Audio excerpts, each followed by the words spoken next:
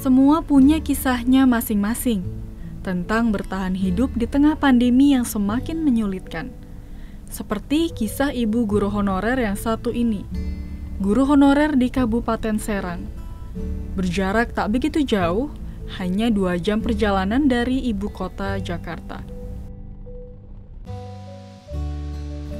Kami, tim ACT TV singgah sampai ke Serang untuk bertemu dengan Ibu Mantasiah. Kisahnya tentang perjuangan sebagai guru honorer adalah kisah yang nyaris serupa. Dirasakan juga oleh ribuan guru honorer lainnya di Indonesia. Uh, kurang lebih lima tahun. Uh, kalau di masa pandemi ini caranya ada dua, kita daring, kadang-kadang juga tetap muka, tetapi itu terbatas dalam beberapa jumlah murid yang uh, datang mengikuti uh, ke, uh, ke sekolah. Uh, jam datang sih tetap uh, ke sekolah tetap harus tiap hari. Cuman uh, sayanya, iya gurunya.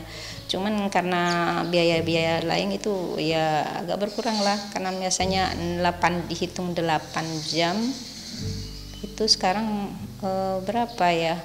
Kadang-kadang 4 jam masuknya gitu. Iya, maksudnya hitungannya gitu. Jadi setiap hari masuk ya? Setiap hari masuk, uh, iya. Cuma 4 jam doang. Uh, uh, 4 jam atau 3 biasanya kan ngitungannya 8 jam.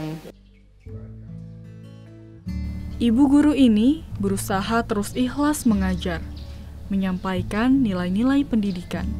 Sementara nasib menjadi guru honorer meminta Ibu Mantasiah untuk bertahan dalam kondisi apa adanya.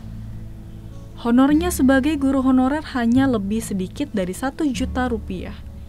Sementara anak-anaknya empat orang harus tetap dibiayai sekolahnya. Honor saya kurang lebih 1,2 per bulan. Dengan pengurangan jam ini ngaruh nggak ke gajinya? Dikurangi juga nggak? Uh, ada sedikit. Biasanya kan Kan satu dua. satu dua.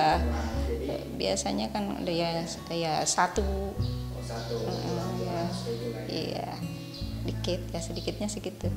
Kalau untuk anak ada berapa ini? Ada empat. Ada empat. Iya. Boleh disebutin uh, kegiatan anaknya? Eh, kalau yang pertama sudah sudah menikah, eh, yang kedua tiga empat itu masih sekolah, dua orang itu yang kedua dan ketiga itu masih kuliah, kemudian yang terakhir yang bontot itu masih SMA.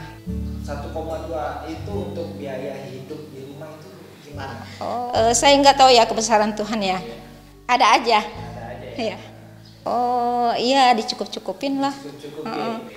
Ah, eh, gini, jadi moto saya eh, untuk anak-anak ya eh, belajar itu perlu ya di mana pun dan kapan kapan pun walaupun sebenarnya kita dalam keadaan pandemi itu jangan hanya di rumah tidak belajar itu tetap kita harus belajar karena belajar itu lebih utama.